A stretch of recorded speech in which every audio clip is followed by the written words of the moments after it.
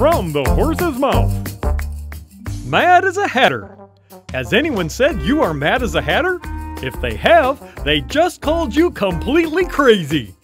Believe it or not, this phrase did not originate with the Mad Hatter in Alice in Wonderland, but in the history of hat making.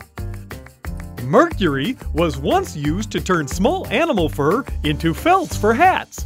Prolonged exposure caused employees to develop a variety of physical and mental ailments, including speech problems, emotional instability, and hallucinations.